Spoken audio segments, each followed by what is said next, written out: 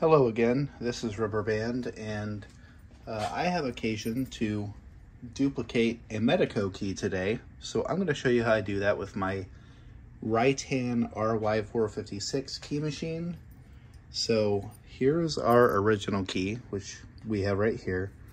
Here's a cam lock that is keyed to, so turns. So I'm going to show you how we do the uh, the rotating cuts duplication with this here key machine.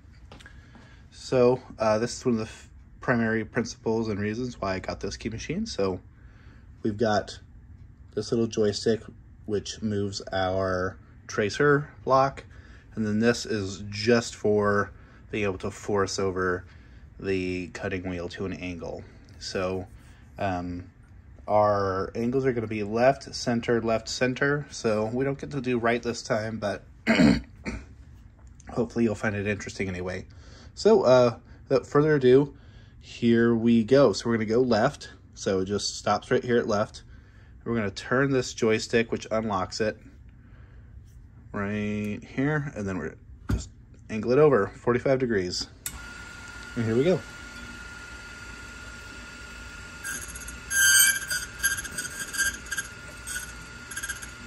Just wallow out the cut in its completeness. Back to center. It's got to stop. And then we'll do the next cut. Just enough to get the cut cleared out. We're going to do the left again.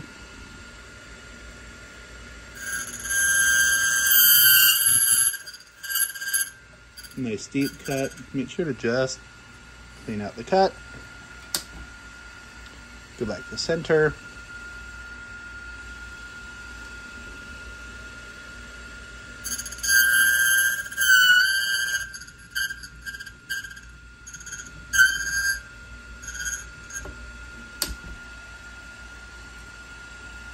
All right. Get a deburr. So that's what our cut key looks like. Let's try it in our cam lock. Hey, works a treat. So yeah, that's uh, how I would duplicate an existing customer's key on this key machine since it's, you know, a semi-automatic duplicator. It makes duplication of an angled cut key uh, really quick and easy. Can do Corbin Emhart and pretty much anything else that has that sort of angled cut on this.